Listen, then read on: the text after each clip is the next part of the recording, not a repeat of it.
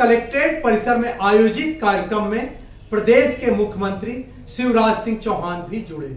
उन्होंने single click के माध्यम से ज़िले की लगभग सात हज़ार से ज़्यादा लड़कियों के खाते में दो करोड़ से ज़्यादा की राशि छात्रवृत्ति के रूप में ट्रांसफ़र की, साथ ही उन्होंने कहा, आप सब हमारा परिवार है।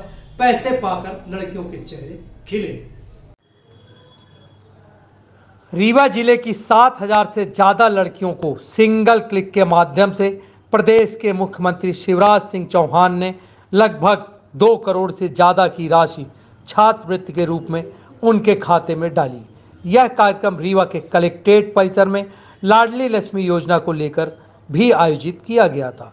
इस मौके पर प्रदेश के मुख्यमंत्री शिवराज सिंह चौहान ने लड़कियों से बात की। रीवा ज़िले की कक्षा छः से बारह तक की लड़कियों के अभिभावक भी उनके साथ मौजूद थे। भारी तादाद में पहुँची लड़कियाँ अपने खाते में पैसे पाकर काफ़ी खुश थीं। खुशी का कारण भी था, वजह भी थी। प्रदेश के मुख्यमंत्री उनसे बात कर रहे थे, वहीं दूसरी ओर उनके खाते में पैसे भी आए, जिसको लेकर उनका उत्साह कुछ ज़्यादा ही था। उनको लग रहा था, उनकी पढ़ाई, उनकी ज़रूरत के लिए उनका पैसा उनके पास है, उन्हें किसी से मांगना नहीं पड़ेगा। कलेक्ट्रेट परिसर में भारी तादाद में पहुँची लड़कियाँ इस बात की गवाह बनी। प्रदेश के मुख्यमंत्री ने जहाँ लड़कियों को अपनी भांजी, उनकी माँ को अपनी बहन बताते हुए कहा, आप सब हमारे परिवार की हिस्सा हैं। मैं ऐसी ही बात नहीं करता। मैं आपको मानता भी हूँ। आप सब मेरा परिवार है। परिवार के लिए मुझे कुछ करना है। आज मेरी बेटियाँ बड़ी हो गई हैं। कोई कक्षा नौ में तो कोई बारहवीं में उनको कोई परेशानी ना हो, उनके लिए मुझे कुछ करना है। मैं आज ये पैसे उनके छात्रवृत्ति के रूप में उनको दे रहा हूँ। मैं जल्द ही लाडली लक्ष्मी योजना के बाद लाडली बहना योजना भी मध्य प्रदेश में लागू करने जा रहा हूँ। आयोजित कार्यक्रम को लेकर हमने कलेक्टर रीवा मनोज पुष्प से बात की। उनका साफ़ तौर से कहना था, आज रीवा ज़िले की सात हज़ार से ज़्यादा लड़कियों के खाते में प्रदेश के मुख्यमंत्री ने दो करोड़ से ज़्यादा की राशि उनके खाते में डाली है। साथ ही उन्होंने लाडली लक्ष्मी योजना के बाद लाडली बहना योजना की भी बात की है। आइए आपको सुनाते हैं आयोजित कार्यक्रम को लेकर रीवा कलेक्टर मनोज पुष्प ने हमें क्या कुछ बताया।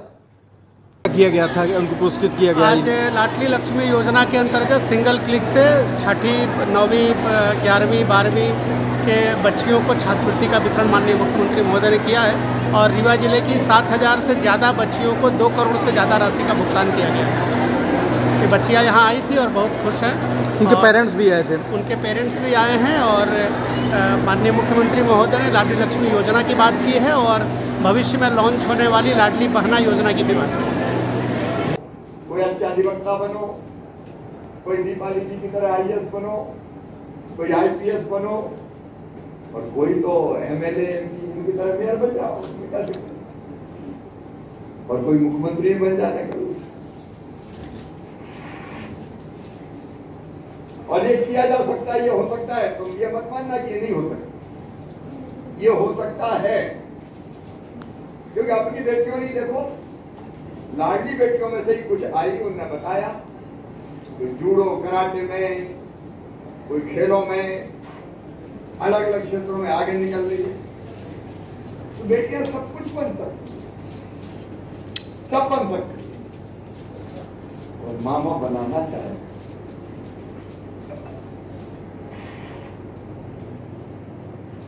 और इसलिए लाडली लक्ष्मी योजना में आप जोड़ रहे हैं। कि मेडिकल कॉलेज में भी एडमिशन हुआ। तो प्राइवेट मेडिकल कॉलेज की फ़ीस बहुत ज़्यादा होती है। आठ लाख, दस लाख रुपया साल। बताओ, गरीब माता पिता भरवा सकते हैं क्या? ज़ोर से बोलो, भरवा सकते हैं क्या? तो फिर फ़ीस कौन भरवाएगा? मामा भरवाएगा, काय को चिंता करेंगे उसका व्यवस्था करेंगे अपन।